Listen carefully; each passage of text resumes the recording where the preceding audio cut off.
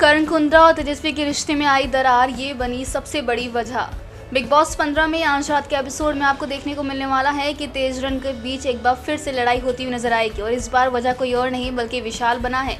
जी हाँ तेजस्वी और विशाल की नज़दीकियाँ दिन पर दिन बढ़ रही हैं, जो करण को पसंद नहीं आ रहा है। करण और उमर यहाँ बात कर रहे होते हैं, जहाँ करण कहता है कि तेजस्वी का ये बर्ताव मुझे अच्छा नहीं लग रहा है।